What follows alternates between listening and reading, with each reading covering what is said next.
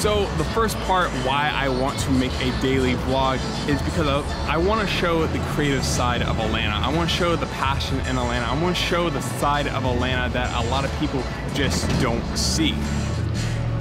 The second part is because I want to share stuff that I'm passionate about. I'm passionate about the pursuit of conquering fears and kind of want to show that through this vlog. The other thing is that I just want to do stuff that matters. Like this life is so short and I feel like people can spend their life doing something and possibly failing at doing something that doesn't make them happy and I don't want to fall into that ever.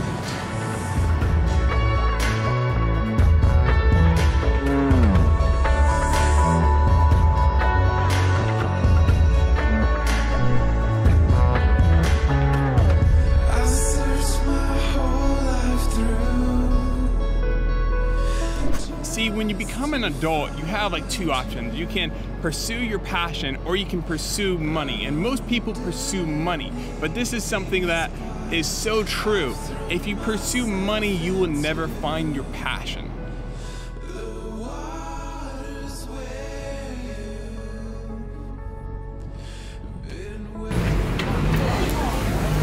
Thank you. You using it last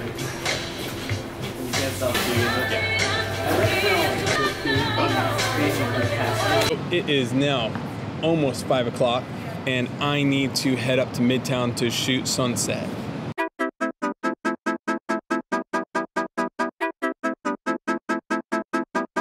So I'm done taking the time lapse here. I'm about to head over to Hodgepodge Coffee Shop.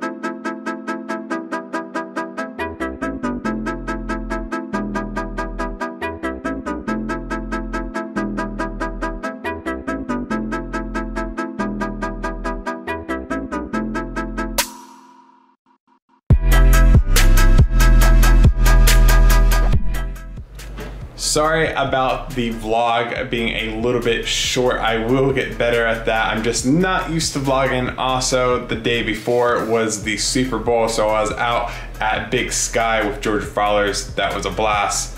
They will get longer.